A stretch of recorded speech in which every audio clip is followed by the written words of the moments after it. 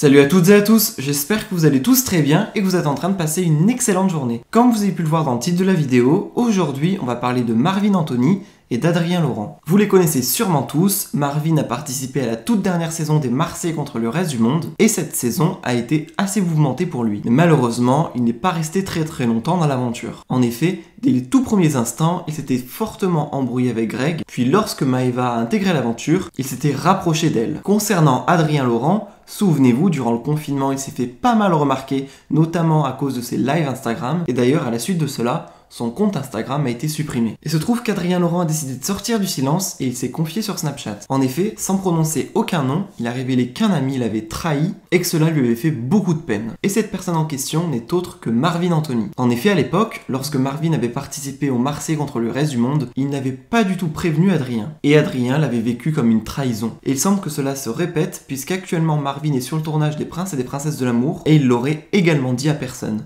Je vous laisse sans plus attendre avec toutes les explications d'Adrien, et n'hésitez surtout pas à réagir en commentaire.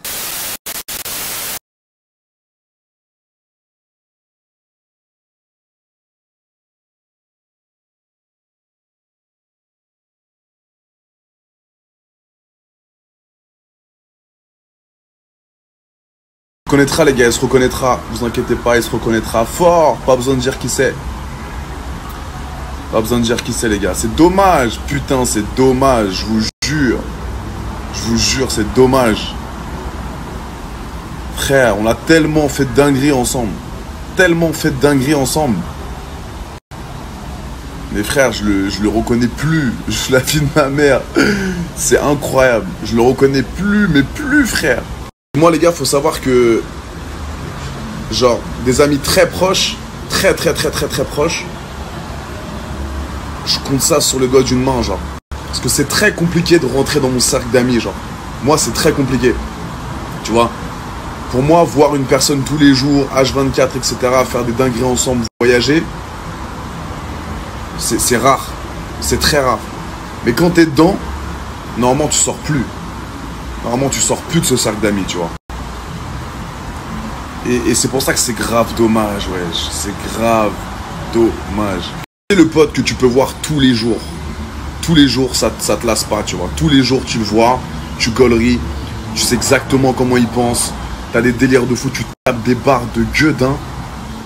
Il n'y en a pas beaucoup, ça. Et moi, je suis très compliqué en amitié, les gars. Je suis très compliqué. Pour que je puisse voir une personne tous les jours, partir en vacances, taper des barres, parler H24, faire des FaceTime ensemble. C'est vraiment, t'es mon bébé, t'es mon amour, genre. Les gars, je suis pas en train de le clasher, hein. c'est pas un clash du tout. Mais je trouve ça juste dommage. Toutes les barres qu'on s'est tapées, tout ce qu'on a fait ensemble, toutes les go qu'on a serré ensemble. Putain, tous les voyages qu'on a fait, les barres qu'on s'est tapées, les fous rires. Quand on se chauffait à une heure et demie, viens, on te boire, tac, tac. Non, ça part en fumée. Ça part en fumée. En tout cas, la famille, ça arrive. C'est la vie. Yes, sir. Mais n'oubliez pas une chose, The 80 Show is back. Salam mon pote, yes sir.